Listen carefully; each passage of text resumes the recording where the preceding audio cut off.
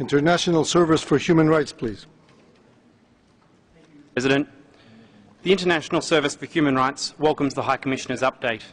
We thank the High Commissioner and her office for the strong support they provide to human rights defenders, the work of whom is crucial to upholding human rights and the rule of law. Around the world, we bear witness to an increase in attacks and reprisals against human rights defenders, together with an expansion of laws which restrict and impair the work of NGOs. The killing of independent journalists in Sri Lanka, the enactment of so-called homosexual propaganda laws in the Ukraine, and restrictions on access to foreign funding for NGOs in Russia, Ethiopia and Egypt are all examples of this trend. In addition to being alarmed by restrictions and reprisals, we are concerned that selective appeals to culture, religion and traditional values are being used to undermine the work of women human rights defenders and those working on issues of sexual orientation and gender identity. Mr President, Madam High Commissioner, in March, in March, this Council adopted a landmark resolution on protecting human rights defenders.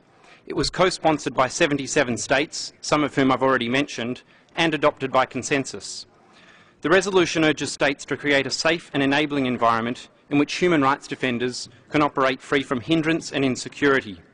And it calls on states to review and amend legislation affecting human rights defenders in order to ensure compliance with international human rights law.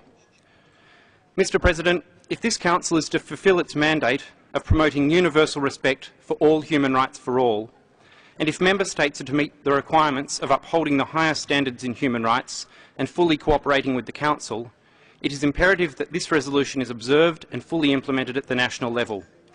We must close the gap between what states commit to here in Geneva and the reality of their laws and policies on the ground.